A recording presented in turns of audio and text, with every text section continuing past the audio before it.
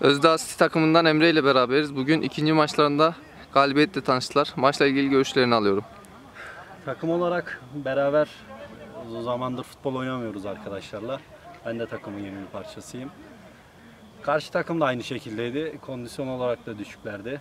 Beraber aynı seviyede sayılırdık. Biz biraz daha fazla gol yakalama şansı bulduk.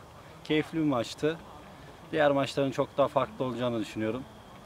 Arkadaşlarla birlikte beraber antrenman yaptıkça, sahada beraber oldukça oyun kalitesi de skorlarda farklı olacak. Güzel bir maçtı. İki taraf için de teşekkürler. Teşekkürler.